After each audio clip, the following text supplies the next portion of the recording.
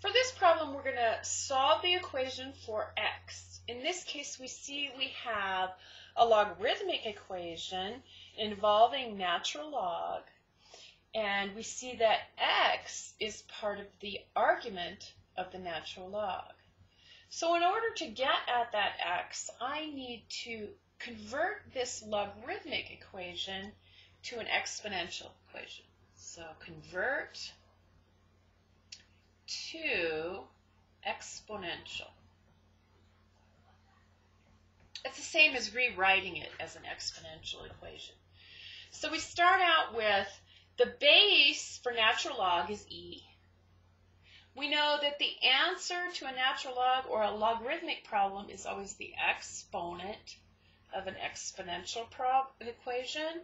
And my argument becomes the answer of the exponential equation.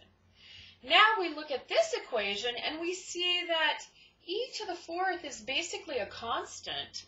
So we have a linear equation. So to, to, so to solve for x, we simply divide by 3, both sides, and we get x equals e to the fourth divided by 3, or you could write it as 1 third e to the fourth that would be my exact answer.